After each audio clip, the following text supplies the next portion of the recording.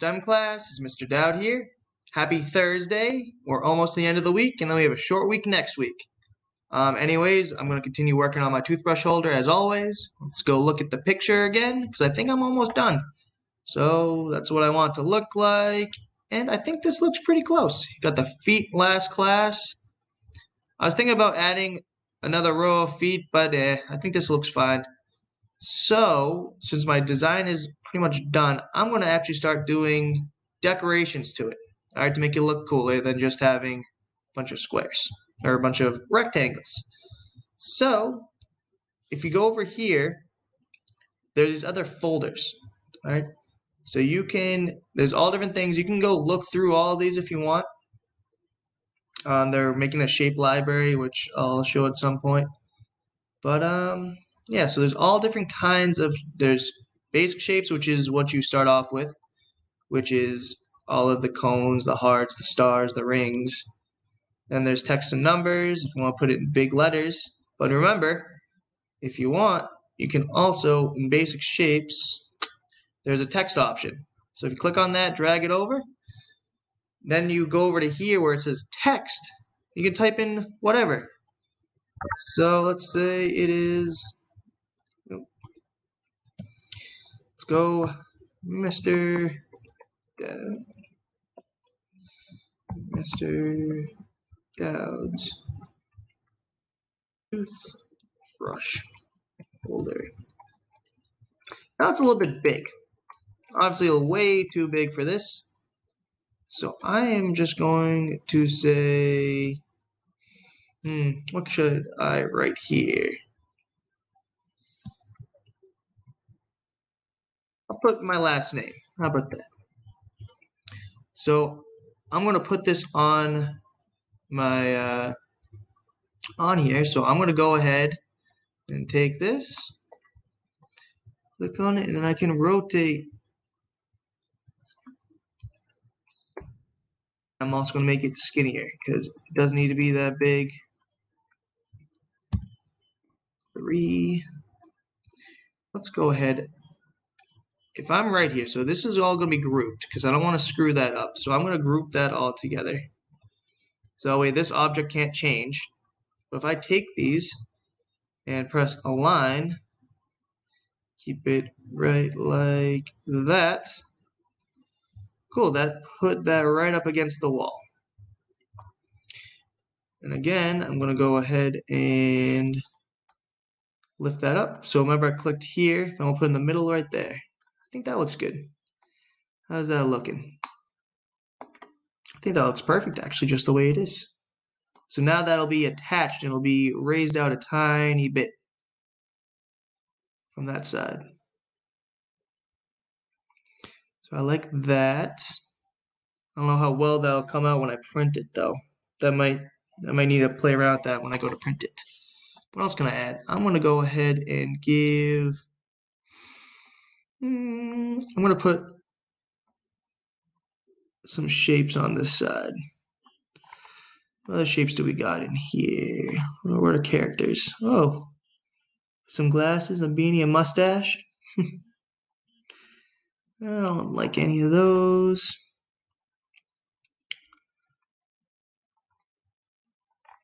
Mm, let's make an at home. What are these? Oh, a penny. Milk, a water bottle, thumbtack. It's all random objects in here, huh? I don't know. I'm going to have to go ahead and think about what else I want to put on there. Maybe I could use the draw tool and draw something. I'm not sure. I'll go ahead and figure that out though. All right, I'll brainstorm some brainstorm some ideas off camera. All right, guys, that's all for today. So I hope your household objects are doing fantastic. And remember, the last day to work on this project is due 10-23, our last day. So I click on the calendar here. So the 23. So a week from, well, well less than a week because this will be posting on the 17th. All right, guys, that's all I have for today.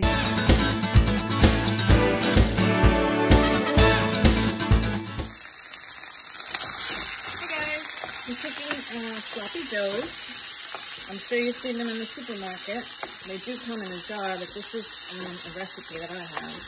All they are really is like a barbecue type sauce and hamburger. And, and a little ketchup. Well, and we'll go on a hamburger. So, this is just the onion and the hamburger cooking out.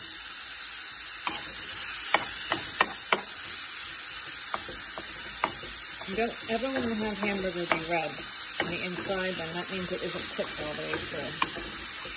They always want it to be cooked all the way through. And I have a little onion in there.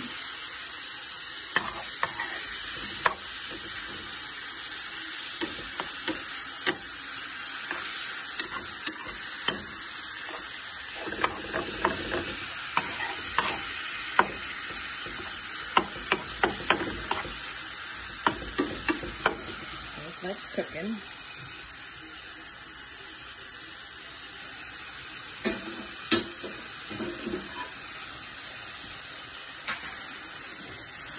So in here I have ketchup, chili powder, barbecue sauce, some cornstarch, and a little bit of water. And I'm gonna mix this in with the hamburger, and this is what's gonna cause, make that sloppy Joe taste. You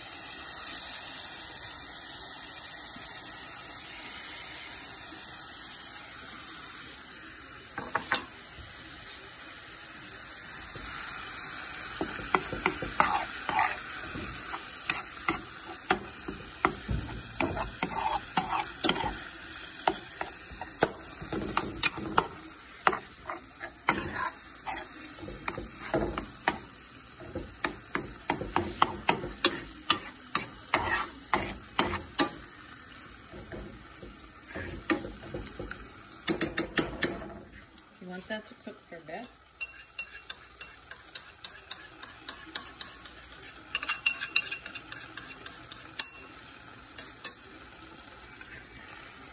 Put the rest of that in.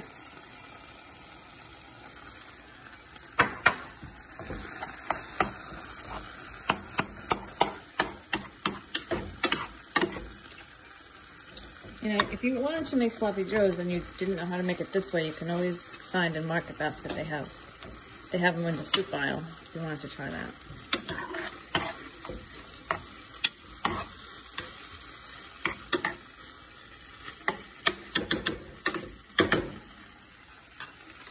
Okay, so when you're done,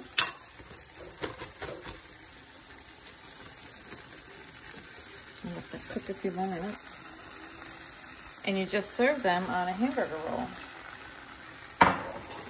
Just like you would a hamburger.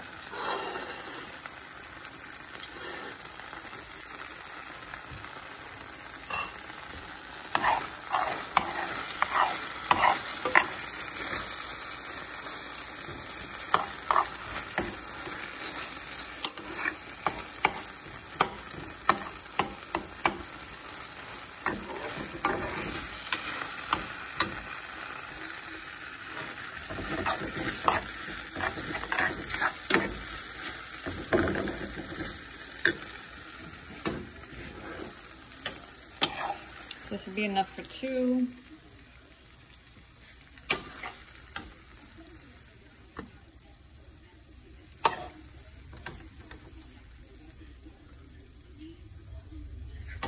And supposed to be big and bulky.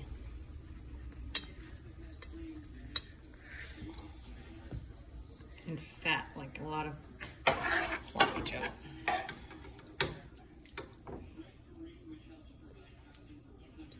Okay, and then you take the top. Like that. There you go. You have sloppy joes. Yum. I have extra, so I can just put it on the pan and you can just soak up your bread with it. All right, till next time.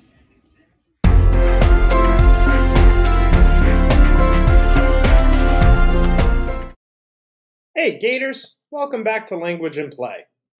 All right, we're going to keep it short and sweet today because you are finishing your scene two, the rising action scene. Remember, this is where the characters become involved in the conflict. Okay? And the characters that I have are Wally the Walrus, Barry the Penguin, and you also have now Sally the Seal and Carrie the Caribou, okay, along with the mother and her son Nathaniel. So we're starting to really fill out our character list, right? And as you come up with more characters, be sure to go back and fill out the character list, okay? Your play should have a working title. You should have your character list all listed out, okay? And then we are on scene two, all right? And scene two needs to be two full pages typed, all right? So as you're continuing, try and think of more ideas and more dialogue that you can add, even if it's going back and expanding on what a character says, right? Carrie works at Bobo's. Maybe she would help us out. She's the meanest girl. But maybe I want to add a line in there before that that says, from Wally, I didn't know she worked at Bobo's.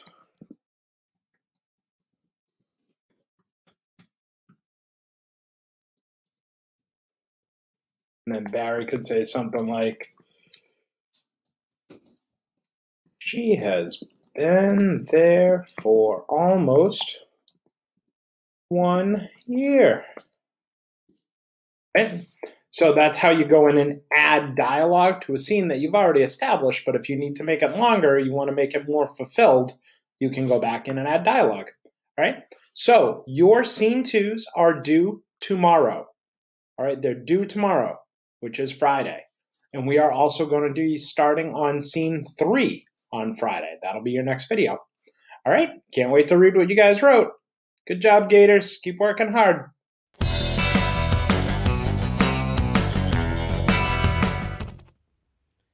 Hi guys!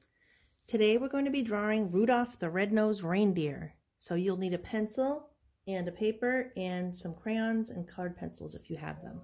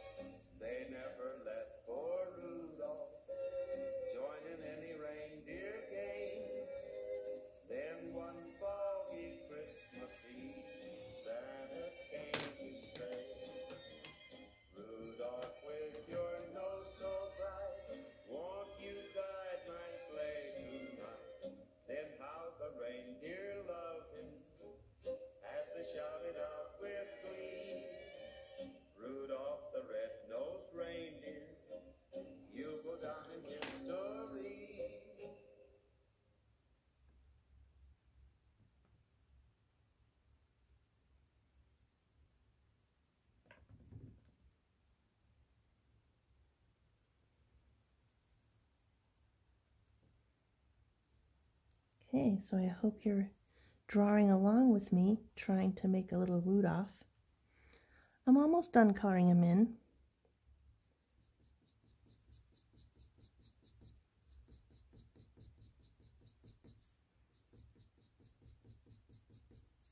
a little scarf there.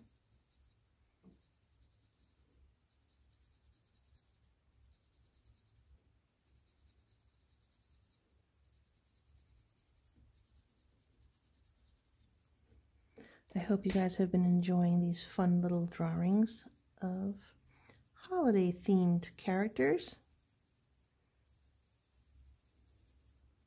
Some of my favorites are the ones that I've been choosing.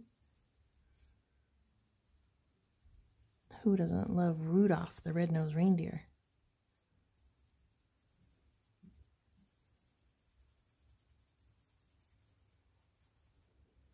Okay, so you can draw something happening in the background.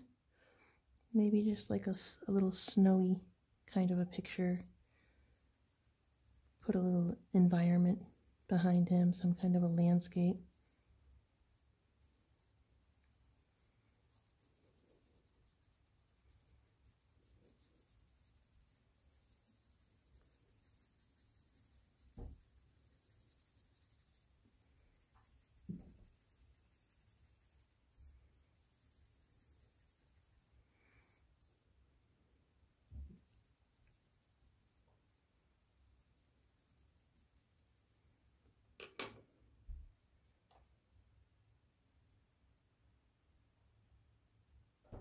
Okay, there's Rudolph.